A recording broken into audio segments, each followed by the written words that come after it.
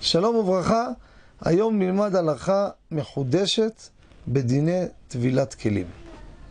כידוע, כלי שלא טבול, אסור להשתמש בו כלל, אפילו חד פעמי. אין דבר כזה.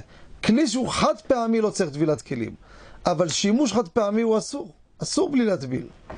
והיה ואדם נמצא במקום שאין לו מקווה, אז יש להקל ליתן לגוי במתנה את הכלי ולשאול אותו ממנו בחזרה, ואז הכלי של הגוי משתמש בו, אין בעיה. אמרנו את זה גם בעבר, אנשים הולכים לעשות על האש, יוצאים לטיול, הולכים לאיזה עיר, לאיזה חוף, לאיזה גן, קונים רשת למנגל. תוצרת חוץ, לא יטביל אותה. כשהוא מגיע לשם, קנה את זה שם, איפה ימצא מקווה עכשיו? לילה. מה יעשה? אז אמרנו, ייתן לגוי, אין לו. אז הבאנו פתרון בשעת הדחק, לעטוף אותו בנייר כסף ועליו לצלות. אף שעל האש, איזה צורה זה צריך שיהיה אה, רשת. אבל יש פתרון כזה רבותיי. אם ה...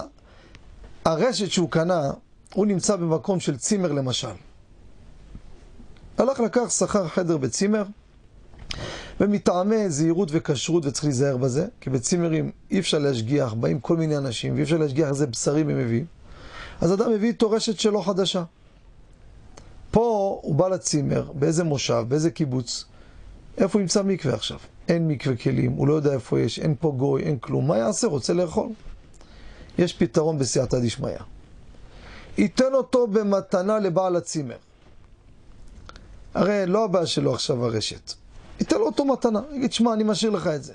ואז מה אני מרוויח? כלי הצימר פטורים מטבילת כלים.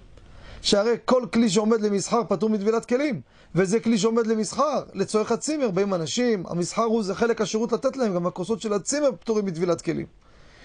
ואז, הרי את הרשת הוא רצה רק בשביל האוכל, אם הוא מתעקש להחזיר את זה הביתה, אז אין לי פתרון בשבילו.